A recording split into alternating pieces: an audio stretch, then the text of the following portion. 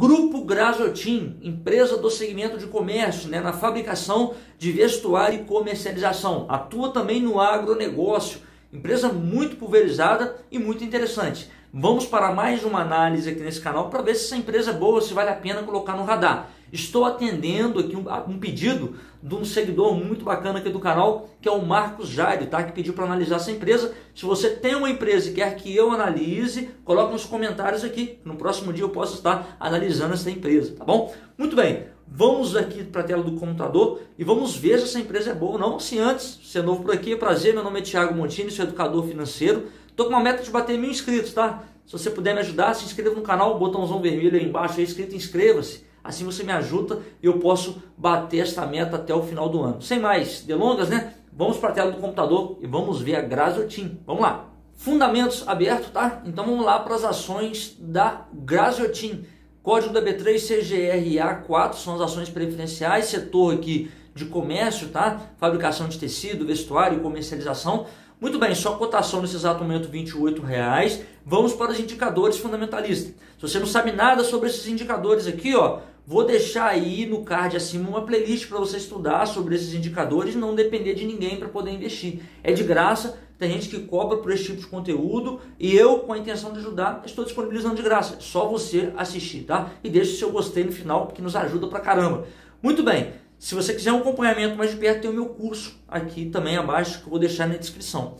PL, que é o primeiro indicador, significa preço sobre o lucro. Em outras palavras, o quanto tempo que você vai levar em anos para ter de volta o dinheiro que você investiu. Basicamente é isso. Investindo 28 reais, você vai levar então 2,93 anos, quase 3 anos, para ter de volta em lucro esse dinheiro aqui, ó, 28 reais. É claro que isso daqui é uma estimativa. Se a empresa continuar tendo resultados crescentes, esse, esse indicador aqui vai diminuindo ao longo do tempo e ele já está baixo, tá? 2,93 é um PL baixo aqui para o segmento, então um ponto positivo para a Graziotin, tá bom? PVP significa preço sobre o valor patrimonial. Esse indicador ele mostra o quanto que a empresa ela está sendo negociada em relação ao seu valor de patrimônio. O patrimônio da Graziotin é aqui embaixo, ó, 771 milhões de reais de patrimônio. A empresa está sendo negociada, então, 0,70 vezes o seu patrimônio, ou seja, ela está barato, ela está sendo negociada abaixo do seu valor patrimonial. Mais um ponto aí para a Grasotin, interessante esse indicador também, muito bom. Dividend Yield, que é aqui embaixo o quanto que a empresa pagou de dividendos nos últimos 12 meses. A Grasotin aqui pagou os incríveis 10,3% de dividendos. É um dividendo muito acima da média. A bolsa de valores tem uma média aí de 4, 5% de dividendo, né, que as empresas pagam na média, e ela paga 10,3%, ou melhor, pagou nos últimos 12 meses. Muito interessante esse dividendo, mais um ponto positivo para essa empresa, tá? Crescimento nos últimos 5 anos, 8,1%, é um crescimento muito interessante também um ponto positivo para a empresa, por ser uma empresa não tão grande assim, né, uma small cap considerado né, na bolsa de valores, e teve um crescimento aí nos últimos cinco anos considerável. A empresa tem uma margem muito interessante, uma margem de 28%, é uma margem excelente, tá? Ou seja, depois de deduzir todos os custos da sua receita nos últimos 12 meses, sobrou 28% da sua receita. E é muita coisa, tá? Isso daqui é o lucro dela representado através de um percentual. Então, uma margem muito interessante, excelente margem. ROI, que é o retorno sobre o seu patrimônio, né? De 23,9%.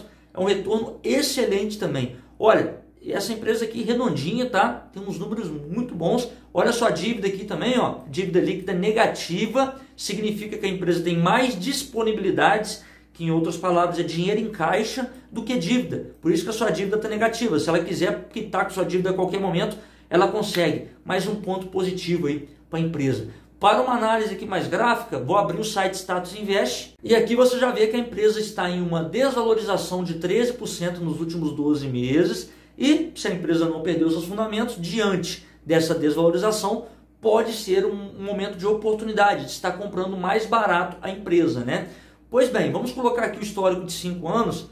Você vai ver então ó, que a empresa veio lá de 2018, né, a uma ação custando R$19,00 e teve um pico aqui, ó, chegou a bater R$46,00 e agora numa queda de R$27,00, R$26,00. Ou seja, a empresa ela se encontra ali numa média e numa baixa no momento. Agora vamos ver se essa empresa perdeu seus fundamentos ou não. Vamos olhar o resultado dela na parte contábil aqui, ó. Aí a parte contábil vai mostrar para a gente o quanto que a empresa teve de resultado ao longo do tempo, né? Eu gosto de colocar aqui um histórico de 10 anos e você vai ver esse gráfico bonito aqui, né? Olha que gráfico interessante. A empresa, né, nessa linha laranjada, mostra sua lucratividade, lucro líquido, né? E mostra que a empresa nunca deu prejuízo. Nunca deu prejuízo ao longo dos 10 anos. Teve uma receita que oscilou um pouquinho, né? Mas depois de 2017 cresceu. Os seus custos, que é o azul mais escuro aqui, se manteve linear, até diminuiu aqui em 2020, mas caiu a sua lucratividade. Em 2021 a empresa teve um lucro, né, recorde de 174 milhões de reais muito interessante. Vamos colocar aqui trimestral para saber o resultado mais recente da empresa. Então, a empresa no quarto trimestre de 2021 apresentou um resultado e no primeiro trimestre de 2022 ela já apresentou um resultado até mais favorável que o último trimestre. Ou seja, a empresa nunca deu prejuízo, muito redondinha, não perdeu seus fundamentos, boa pagadora de dividendo, muito interessante aqui os indicadores tá, dessa empresa. Muito bem. Considerações finais. Por ser uma empresa varejista, caramba, a empresa é muito boa, tá muito à frente dos seus concorrentes. Olha só, isso daqui não é recomendação de compra nem de venda. Pega esse tipo de conteúdo para poder alimentar, te ajudar nos seus estudos, tá bom? Mas ó, eu fiquei surpreso ao ver aqui os indicadores dessa empresa, não tem na minha carteira, mas muito interessante. Vou até analisar um pouco mais de perto, porque de fato tem os números muito bons, uma empresa redondinha, nunca deu prejuízo paga dividendo, tá? Altíssimo por sinal e tem um retorno muito interessante, tá? Por ser uma, uma empresa do setor de varejo, né? De, do comércio, é uma empresa muito boa. Fiquei muito feliz em fazer essa análise porque de fato é uma empresa aqui que eu vou olhar com mais calma, tá bom? Um abraço para você, se você gostou deste conteúdo, coloca aqui nos comentários, deixe seu gostei, não esquece de se inscrever. Tamo junto até o próximo vídeo. Valeu!